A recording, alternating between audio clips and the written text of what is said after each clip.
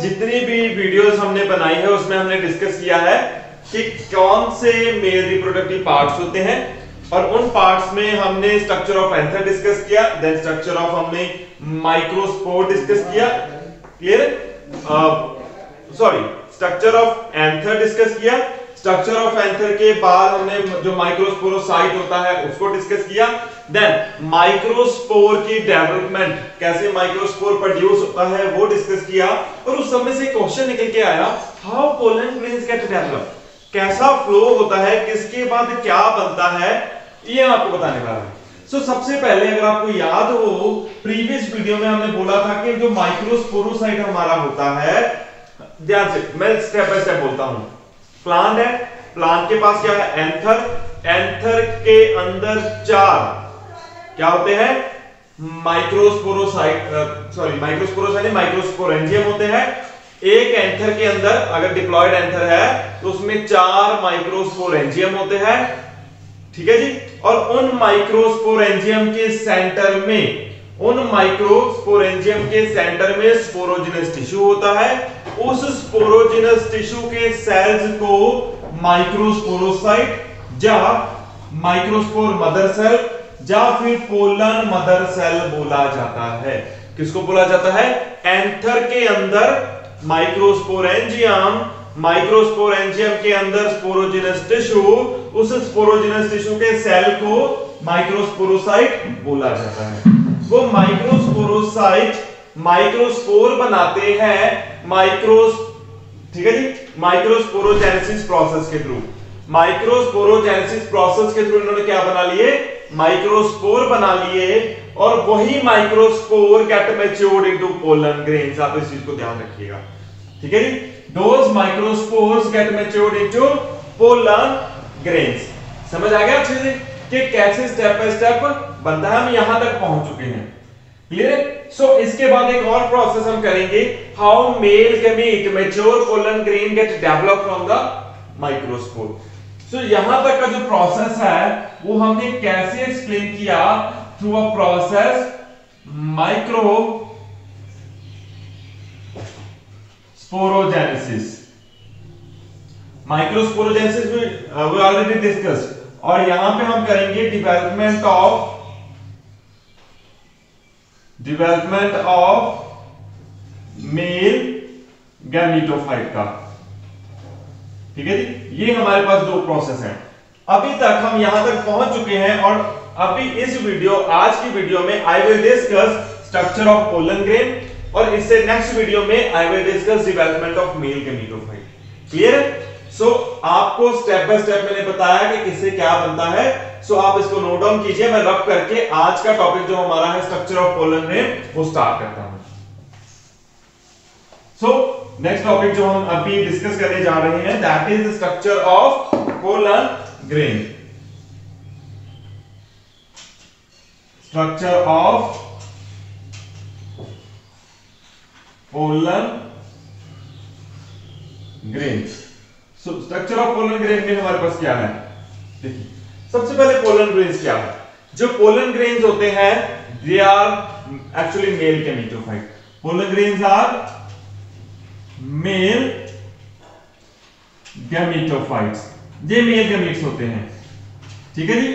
अगर pollen grain की हम साइज़ की बात करें, या वेरी स्मॉल इन साइज़ क्या होते हैं? बहुत छोटे छोटे साइज़ के होते हैं। They are small in size और इनका जो साइज़ होता है that ranges from 25 to 50 micrometer जो साइज़ होता है it ranges from 25 to 50 micrometer और जो इनका शेप होता है they are having variable shape they they will be they may be round in shape may be oval in shape और may be polyhedron in shape और इनका जो shape होता है that is variable shape shape इनका fix नहीं होता. Shape vary करता है species to species clear so जो हमारे भी पोलन ग्रेन होते हैं they are coated by a substance which is known as pollen kit pollen grain coated by yellow sticky substance pollen grain are coated by yellow sticky substance call pollen kit उस sticky substance को pollen kit बोला जाता है. Clear so after that हम discuss करते हैं जो pollen grain है. हमारा जो पोलन ग्रेन जिसकी हम बात कर रहे हैं that is coated by two layers ठीक है? That is surrounded by two walls the the wall the wall of pollen grain the wall of pollen grain consist of two layers consist two layers इसकी wall में दो layers होती हैं. कौन सी दो layers होती हैं? एक लेयर होती है एग्जाइन और दूसरी लेयर होती है हमारी एंटाइन जो एग्जाइन होती है exine is a outermost layer कौन सी होती है? आउटर मोस्ट लेयर जो एंटाइन होती है this one is a inner layer ये अंदर वाली लेयर होती है। So exine intine clear exine outermost होती है एंटाइन इनर लेयर होती है। अगर मैं एग्जाइन की बात करूँ, अगर मैं एग्जाइन की बात करूँ exine outermost it is made up of इसकी बनी होती है? अप ऑफ़ स्पोरोपोलिनिन स्पोरोपोलिनिन ये वाली लेयर स्पोरोपोलिनिन की बनी होती है। ठीक है जी? और स्पोरोपोलिनिन जो होता है दिस इज़ और ये वाली लेयर जो होती है बहुत ज़्यादा रेजिस्टेंट होती है। Sporopollenin is a substance which is resistant to acid, alkali and other enzymes. Clear? So this layer this layer is resistant to acids alkalis and enzymes. So so, किसी भी तरह का एंजाइम किसी भी तरह का एसिड या किसी भी तरह की अल्कली इस लेयर को डिस्ट्रॉय नहीं कर सकती इस लेयर को डिग्रेड नहीं कर सकती। ठीक है? और ये पोलन ग्रेन्स को हार्श कंडीशन टॉलरेट करने के लिए।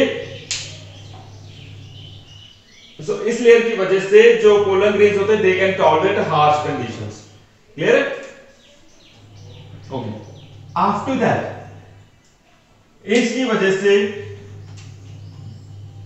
the shelf life of pollen grain the shelf life of pollen grain जो पोलन ग्रेन की शेल्फ लाइफ होती है is due to this layer is due to this layer यही एक लेयर है जो पोलन ग्रेन की शेल्फ लाइफ के लिए रिस्पॉन्सिबल होती है। कि पोलन ग्रेन कितने टाइम तक ज़िंदा रहेगा it depend upon this layer clear अब इस स्पोरोपोलिन की बात करें। ये हम किसकी बात करें? We are talking about exine Exine contain pores in it.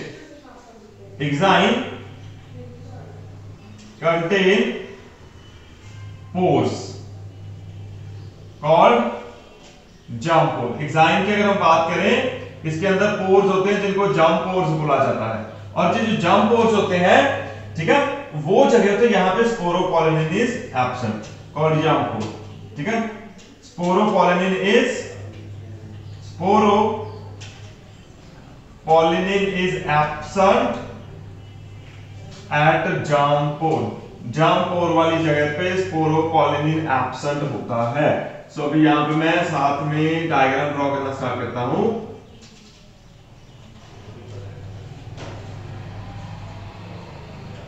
So i am drawing structure of pollen grain so यहाँ पे मैंने देखो दो जगह बना ली। ठीक है? यहाँ पे मैं इसको शेडेड कर रहा हूँ। मैं सारा शेड अभी कोशिश करता हूँ मैं सारा ही शेड कर दूँ। तो आप इसको अच्छे से शेड कर लीजिएगा। सेव टाइम मैं इसको थोड़ा सा रफली शेड कर रहा हूँ। चलिए हमारा शेडेड हो गया ऑलमोस्ट तो यहाँ पे देखिए, इस पे मैंने दो जाम पोर्स बनाई। सो ये हमारी लेयर कौन सी हो गई। दिस इज़ एक्साइन एक्साइन के बाद इसके अंदर एक इनर लेयर भी होती है which is known as intine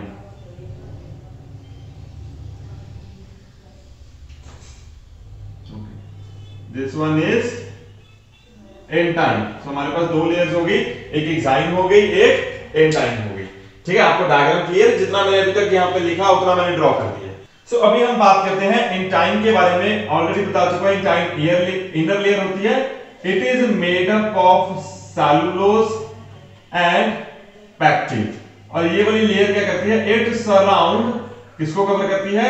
it surround cell membrane जिसको हम प्लाज्मा मेम्ब्रेन भी बोल देते हैं। समझ आ गया? सो सेल मेम्ब्रेन में जो प्लाज्मा होता है, ठीक है, उसके अंदर दो सेल्स होते हैं, ठीक है?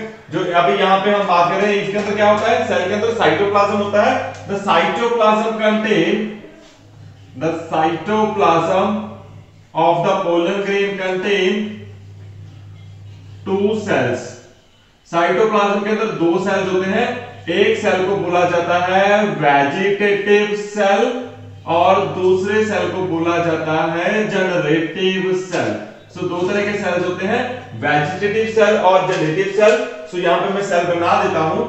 जो वेजिटेटिव सेल होता है, वो लार्जर सेल होता है। क्या होता है? लार्जर सेल होता है विच कंटेन फ़ूड रिज़र्व जिसके अंदर फ़ूड रिज़र्व भी होता है। Clear which contain food reserve अगर मैं जेनेटिव सेल की बात करूँ generative cell is a small cell which is present in the cytoplasm of the vegetative cell present in the cytoplasm of the vegetative vegetative cell so ये हमारा क्या है? बड़ा वाला सेल है। बड़े वाले सेल में एक छोटा सेल होता है विच इज़ नोन एज बड़े वाले सेल में एक छोटा सेल होता है, which is known as generative cell clear है? क्या बोलते हैं इसको? जनरेटिव सेल और दिस इज़ जनरेटिव न्यूक्लियस ठीक है जी? इसको जनरेटिव न्यूक्लियस बोला जाता है और जो लार्जर सेल है this is known as vegetative cell और इसमें जो न्यूक्लियस होता है that is known as vegetative nucleus ठीक है जी? इसको बोलते हैं वेजिटेटिव न्यूक्लियस और ये सेल को बोला जाता है vegetative cell okay this vegetative cell contain food reserve as well as large nuclei इसमें लार्ज न्यूक्लियस भी होता है। तो यहाँ पे मैं इसकी सेल मेम्ब्रेन बना देता हूँ चारों तरफ़। क्लियर तो ये हमारे दो सेल डेवलप हो गए। आपको ये सेल क्लियर है? सो इसके बाद इट आल्सो कंटेन वैक्यूल्स इसके अंदर छोटे छोटे वैक्यूल्स भी होते हैं। ठीक है जी? ओके पैक्यूल्स अगर आप नहीं भी पढ़ाओगे नो इशू चलेगा, आपका इतना आपको क्लियर होना चाहिए, जितनी बातें मैंने अभी बोली। सो ऑलमोस्ट मैंने सारा कवर कर दिया, जितना इसमें बताना था। So in 60% of the plants जो हमारे 60% प्लांट्स होते हैं, यहाँ पे दो सेल है। These pollen grains get released pollen grains released at two cell stage. Pollen grain दो सेल वाली स्टेज पे रिलीज़ हो जाते हैं और in remaining 40 percent plants pollen grains get release at three celled stage अब ये थ्री सेल स्टेज कहाँ से आती है? थ्री सेल स्टेज कैसे आती है? जो चीज़ जनरेटिव सेल है this generative cell divided into two two motile male gametes which can know which is known as three cell stage, और उस three cell stage पे these pollen grains get released from the plant. Clear है so इन्हीं pollen grains की अगर हम बात करें these pollen grains are having viability so यहाँ पे मैं एक शब्द लिखने जा रहा हूँ। क्या शब्द लिखने जा रहा हूँ? Pollen viability what is pollen viability it is a time period pollen viability क्या होता है? कि टाइम पीरियड होता है up to which these pollen grains are having ability to germinate, to fertilize. So in pollen grain की कब तक germinate करने की, कब तक फर्टिलाइजेशन करने की कैपेबिलिटी है?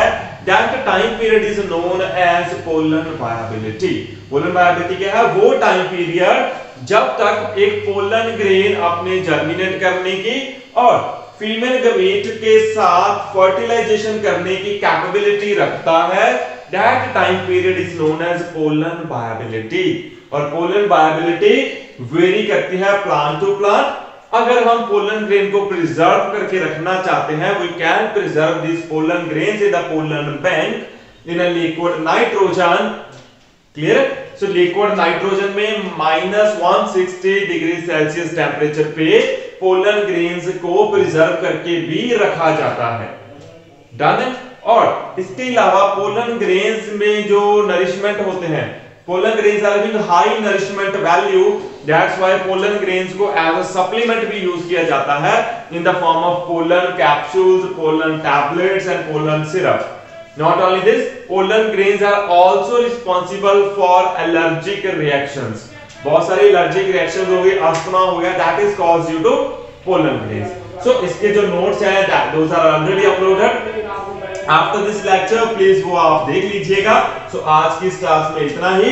बाकी हम नेक्स्ट जो डेवलपमेंट ऑफ़ मेल जो फाइट है that we will discuss in the next class